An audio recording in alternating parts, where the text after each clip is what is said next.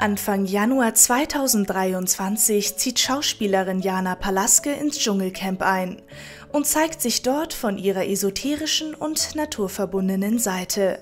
Bereits vor ihrem Antritt kündigt sie an, dass sie im Laufe der Show über ein Ereignis sprechen möchte, das sie sehr stark geprägt hat. Im australischen Dschungel hat sie zwar keinen Zugriff auf ihr Smartphone, dennoch möchte sie genau zu diesem Zeitpunkt ihre Geschichte mit der Öffentlichkeit teilen. Deshalb veröffentlicht ihre Begleitperson nun einen Post auf Instagram, der vermutlich von ihr vorgefertigt wurde.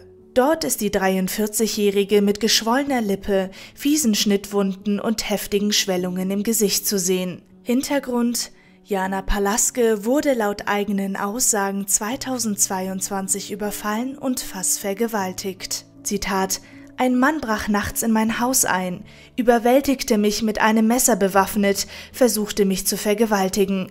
Das und wie ich überlebte und ihn in die Flucht schlagen konnte, war ein Wunder. Zitat Ende. Es sei ein Moment gewesen, in dem sie die Urkraft, Zitat, wirklich so komplett durch mich durchfließen und durch mich agieren spürte, Zitat Ende, so die Schauspielerin. Sie hat das Ganze als einen Zitat Test betrachtet, den ich bestehen durfte, um in ein neues Kapitel meines Lebens zu treten. Zitat Ende. Dieses Ereignis hat sie letztendlich dazu bewegt, sich Jana Urkraft zu nennen. Zitat: Denn wenn eine Frau einmal so um ihr Leben gekämpft hat, ist sie nicht mehr dieselbe. Zitat Ende.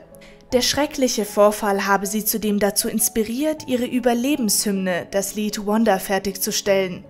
Es ist eine starke Botschaft, die Jana Palaske nun verbreitet. Zitat: Ich möchte die Wunde Air Foundation gründen, um Opfer von Gewaltübergriffen zu supporten. Zitat Ende erklärt die 43-Jährige. Denn, Zitat, mit einem R wird aus einer Wunde ein Wunder. Zitat Ende.